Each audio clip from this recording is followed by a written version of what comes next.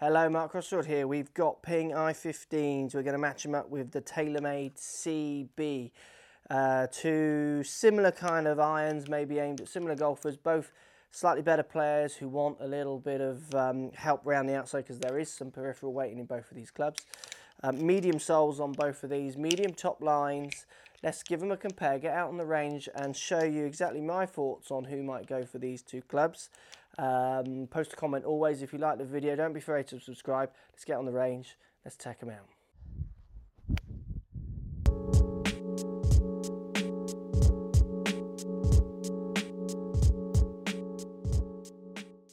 So here we go, we're outside with the Ping i15 hitting up, up against the TaylorMade CB.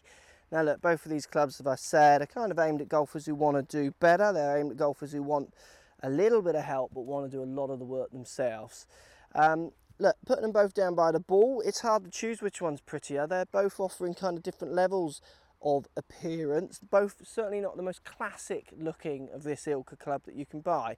TaylorMade with its chrome finish I think will appeal for more on looks. It looks much more like a regular golf club where Ping with its classic um, ping looks of a matte finish obviously doesn't appeal to everyone. Now the size of the head though in the ping is much prettier where the TaylorMade to me always feels quite long.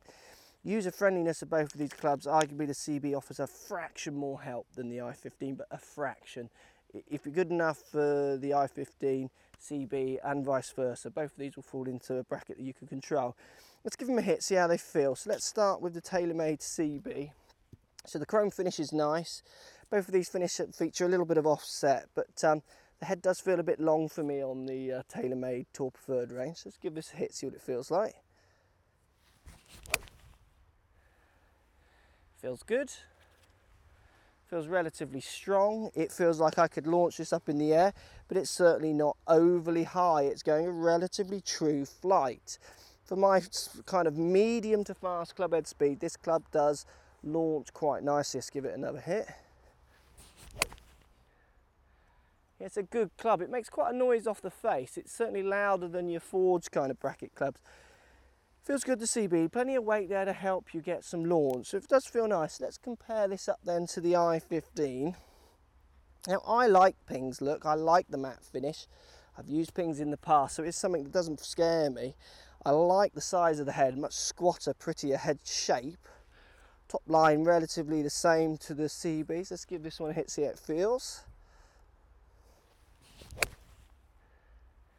Feels good. Again, it feels a truish launch, what I put in pretty much comes out. I think if you swing the club superbly fast, both of these clubs might launch a fraction high, but if you're a medium to fast swinger, which is where I'd put myself, swing a six iron around 85 to 87 miles an hour, um, these do feel like they're going to launch at a nice height, certainly not too high. Let's give it another hit.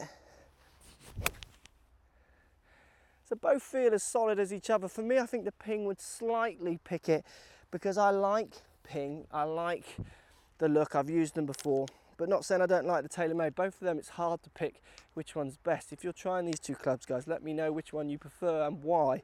You're Ping guy or TaylorMade guy. Both of them do perform well and they're certainly going to help a middle range handicapper, maybe 16s wanting to get down into single figures. It's that kind of club for me.